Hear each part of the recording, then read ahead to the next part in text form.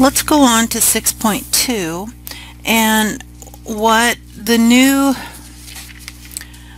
concept for this section is, so we're going to deal with uh, distributions that aren't standard normal, they're simply normal. So uh, we can do a little bit of adjusting and make them fit into our standard normal curve. So that's where we're going.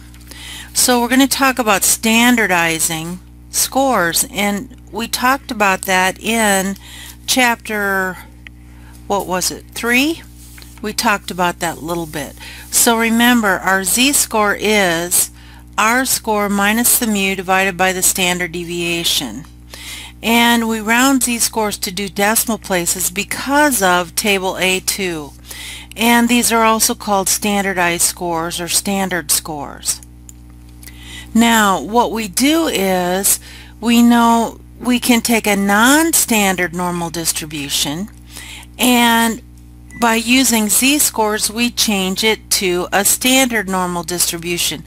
So we have those tables and we have our StatCrunch application and um, it can be used with any normal distribution. So let's talk about uh, where can we use this? Well, we can use this, and this is similar to one of the exam questions. Uh, we can take people from different distributions and we can actually compare them. So we've got two students. We've got Eleanor who scores 680 on the SAT Math and it's a normal distribution with a mean of 516 and a standard deviation of 114. So Eleanor scored above the mean. Well, Gerald scored 27 on the ACT math and it is normal with a mean of 20.6 and a standard deviation of 5. Well, Gerald also scored higher than the mean. Who scored better? How can we compare them? Well, we can compare them by putting them on the same scale. And to put them on the same scale, what we're going to do is we're going to standardize each score and then we're going to compare how many standard deviation units they are from the mean. So let's standardize Eleanor. So there's Eleanor's score minus the mean divided by the standard deviation.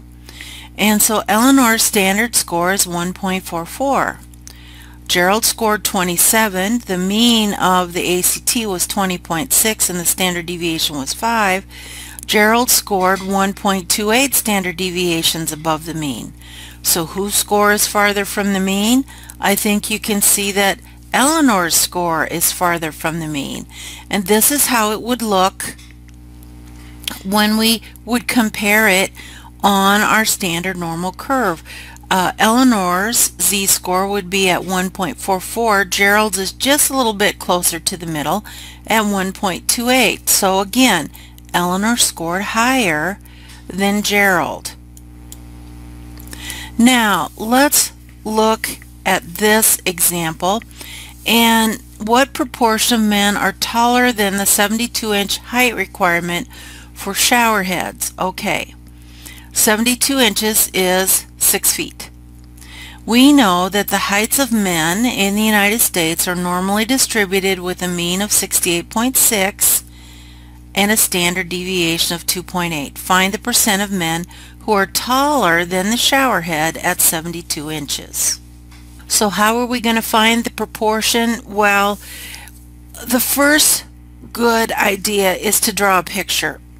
and we know the mean is 68 inches and the standard deviation is 2.8 inches. So um, we're looking at how far is 72 inches above our mean, but we're looking for it in standard deviation units.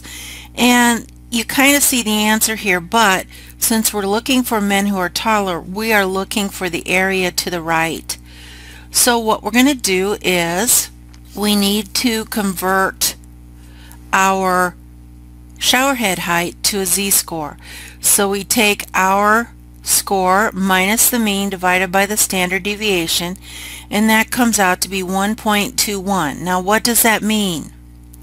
That's 1.21 standard deviation units above the mean. So when we talk about z-scores, we also talk about the z-score is the same as this is how many standard deviation units when it's positive above the mean or when it's negative below the mean. Okay, so what we're going to do next is we're going to find that area and uh, they're going to tell us that the answer is 0.1123. So let's pause here. I want to pull in StatCrunch so we see that. So let's pull in StatCrunch and remember I'm going to go Stat Calculators Normal. Remember this is the standard normal curve and remember we wanted to know the area above a z-score of 1.21.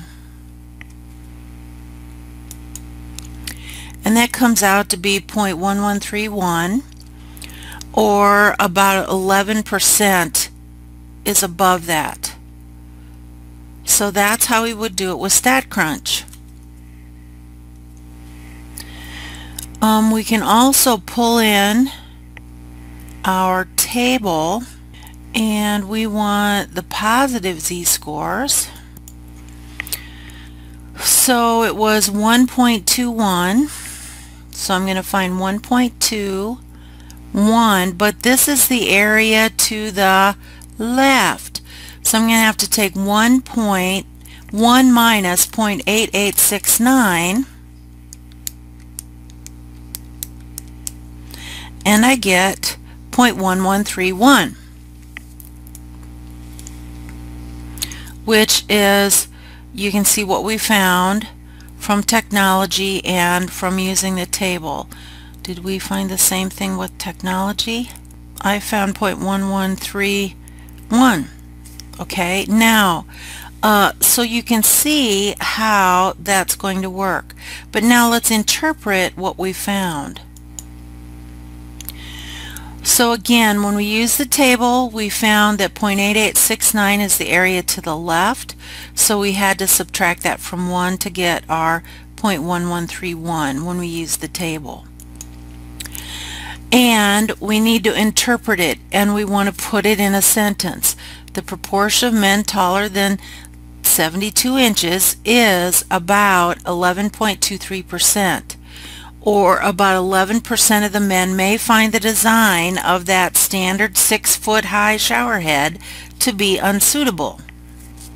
Some hints. Don't confuse the z-scores and the areas. I think I said this in the last lecture. Remember the z-scores are the distance along the horizontal scale. But the areas are the regions under the curves and that is the proportion. And remember the z-scores on table A2 are in the left column and across the top and the areas are in the body of the table so it's important I would highly recommend you draw a picture and shade which side of your z-score you're looking for and the z-score that's below the mean is negative, the z-score that's above the mean is positive. And then the areas are the probability, and they're always positive or zero. They are never, never, never, never, never, never, never, never negative.